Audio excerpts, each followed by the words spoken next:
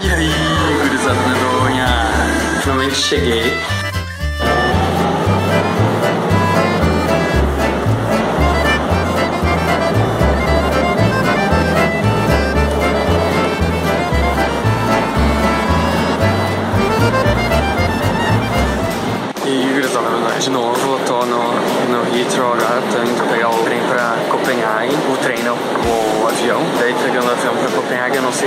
Um dia lá caminhando com essa mochila pesadona, pra pelo menos dar uma turistada.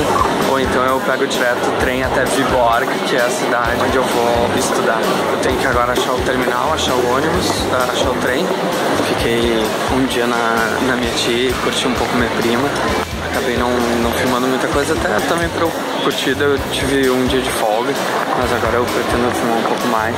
Tô achando agora o, guichê pra eu fazer o check-in, mas ainda tem três horas, então tô super cedo. Acabei de ter o meu primeiro estrezinho de aeroporto. Eu fui uh, pegar a passagem pra ir pra Copenhague e não tinha sido pago mala, porque aqui o pessoal reclama muito das companhias aéreas do Brasil, mas tipo, aqui é muito pior, porque aqui tu tem que pagar extra pra, pagar, pra levar até mala. Tem direito a uma mochila de mão e a mala que tu levar no tem que pagar mais.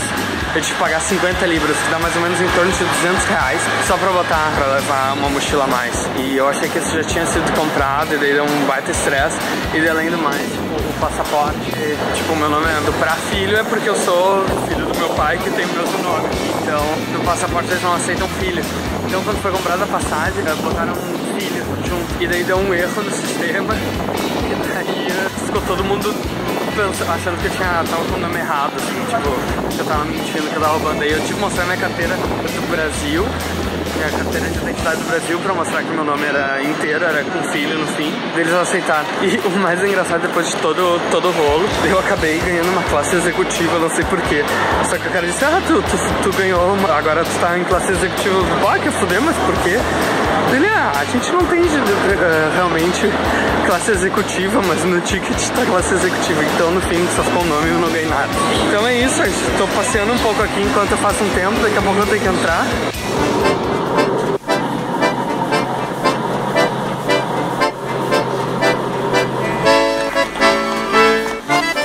Gurizada, meu bem. Finalmente cheguei na cidade do curso. Fiquei ontem o dia inteiro em Copenhague. Tô cheio de mochila. Tô muito podre porque eu não queria gastar em Airbnb ou hotel ou qualquer outra coisa. Então eu resolvi passar o dia inteiro em Copenhague, só que sem pagar hotel. E daí eu acabei ficando a noite na, na estação de trem, esperando. E eu acabei não gravando nada porque minha bateria tava acabando. Que os negócios de trem, tudo meio que tu acompanha por aplicativo, então tu precisa de internet e de. Ai, agora tô numa longa, meu Deus. Tu precisa de aplicativo e precisa de, de bateria, né? Então eu fiquei apavorado e deixei o outro lado desligado e não gravei nada. Eu perdi de gravar um monte de coisa legal, porque eu encontrei uns duas pessoas que eu acabei conhecendo do curso que estavam lá também, turistando, um casal de italiano. Os caras bem gente fina, bem massa. Ficou passeando o dia inteiro, deu pra cansar bastante. E agora eu tô tentando achar o, o curso.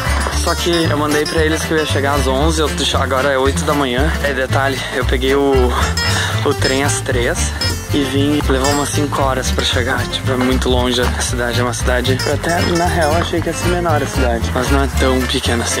Tem vezes se eles acham, ou se eu vou ter que ficar, tipo, na rua até 11 da manhã, mais umas 3 horas. Bom, pra quem já ficou, tô, tô desde as 11 na estação, daí eu fiquei até as 3, fiquei 4 horas lá parado, rateando, fiquei mais mais 5 horas de trem, às 8 da manhã. Eu já cruzei, sei lá, por uns 10 bêbados. Pelo que parece, tipo, a Dinamarca, o pessoal bebe muito. E uns bêbados loucos, assim, né? Tipo, o cara tá bêbado, é tipo uns bêbados bizarros. Mas acho que pelo, aqui não existe muita assalto, essas coisas. Assim espero, né? Porque a sorte que eu tenho só no ano passado eu perdi três celulares, dois com assalto à mão armada. Não levo muita fé em nenhum lugar mais.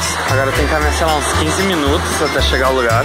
Todos os videologs eu reclamando e cansado. Eu também não gravei muito na viagem porque tava economizando bateria também, porque eu achei que não ia durar muito. Agora eu tô aproveitando que eu tenho que ficar só essas três horas. Acho que a bateria dura até lá, caso eu não consiga falar com os caras antes. Porque eu não posso mandar e-mail, tenho que ligar pra eles.